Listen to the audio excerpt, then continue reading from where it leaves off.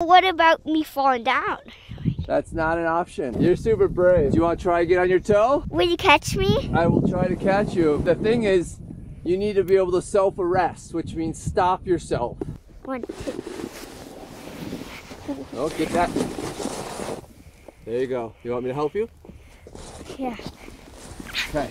It's too steep. I know it's scary. And just stand up and balance, and you lean uphill a lot, and you just dig those toes in. You can put your, yep, drag that hand. There you go. You got a toe edge coming across the black diamond.